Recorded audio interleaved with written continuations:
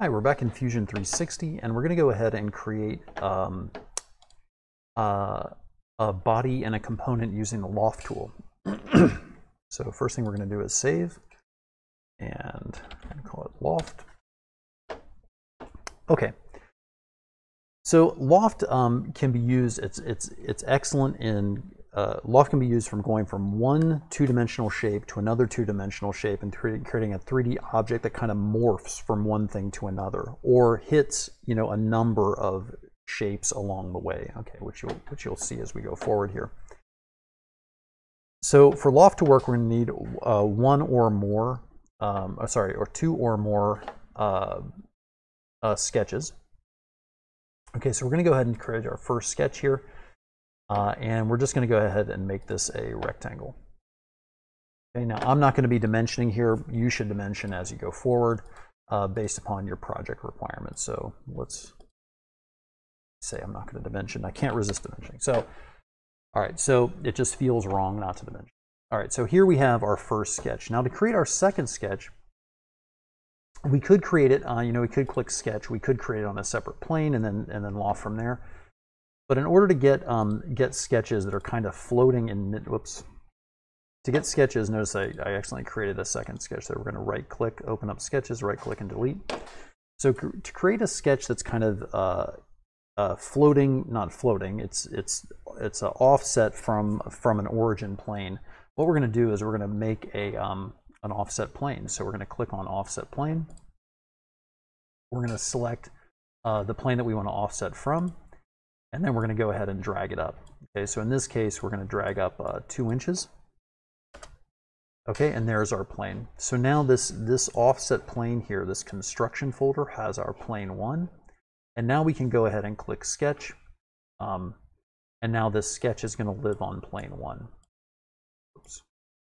So notice that our where we're drawing is now is now offset from our original uh, rectangle. And we can see that by rotating the cube. So see our original rectangle is on the origin plane, and our new uh, sketch is offset from that two inches.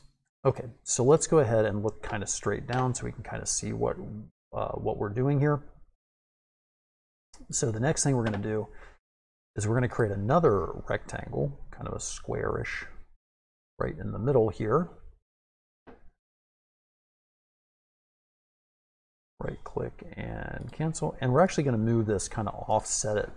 So we're going to use our dimensions to do that. So let's go ahead and make this dimension. Let's go ahead and we're going to offset it from the side. We're going to offset it two inches.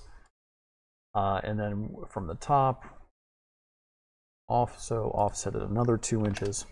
And so we're going to have it kind of floating here uh, relative to uh, the underside, the uh, sorry, the the rectangle that's on that's below it. And we're going to make it 1.5 inches, and we're going to go ahead and finish sketch. Okay, so now we have these two rectangles. One is in uh, offset from the other by two inches. And now we're going to go and we're going to do another uh, plane here. So we're going to select again the, um, the XY plane and we're gonna now we're gonna offset this four inches. So now we have a plane that's another two inches above uh, the initial plane that we had. Okay, so we're gonna go ahead and select that plane. And now we're gonna go ahead and create a circle. Okay, a very small circle. And we're going to, uh, to make that um, 0.5 inches. And we're gonna make this um, we're going to dimension it, and we're going to say that it's a one inch um, offset from the side and one inch offset from the uh, other side. And we're going to go ahead and finish sketch. Okay, so now we have this uh, these three sketches which are offset from each other by a specified amount. And now we're going to go ahead and create our loft. So let's go down to create, click loft, and we're going to select them in turn. So notice that now we're selecting our profiles. Okay, so here's our one profile, two profiles, and three profiles. Okay, so you can imagine that these could be ribs on, uh, you know, a, um, some kind of container.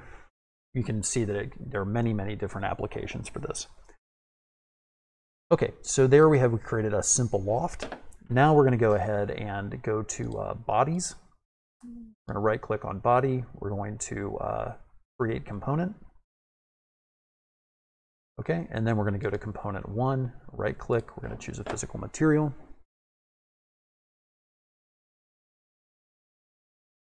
Okay, we're going to go down. And this time we're going to make it copper. All right, so there we have it. A simple loft using three sketches and offset planes. Uh, best of luck.